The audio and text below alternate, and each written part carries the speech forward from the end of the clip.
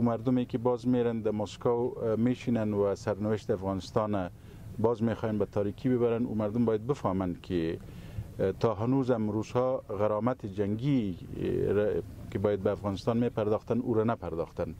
و درد و رنجی که به وجود آوردن او را هنوز التیام نکردن.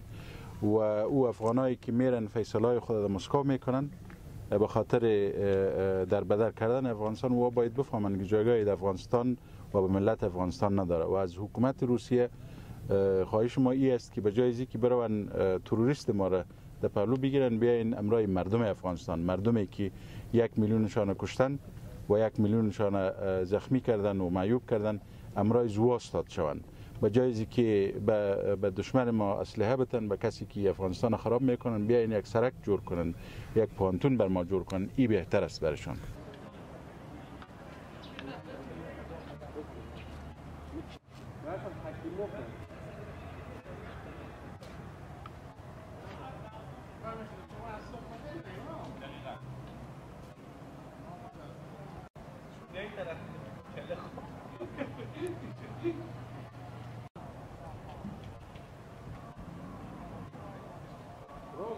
اسم قبلی من خاکیموف بود.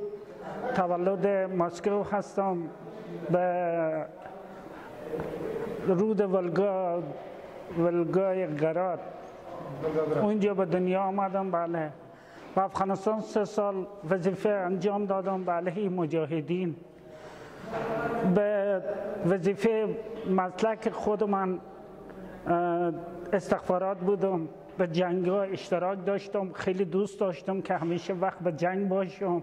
آمدن شوروی به افغانستان یک اشتباهی بود. کاش که نمی آمد حالا شوروی گوشش داره صلح به افغانستان بیایه به خاطر منافع شخصی از اینه که مرزای از این به خطر نباشه.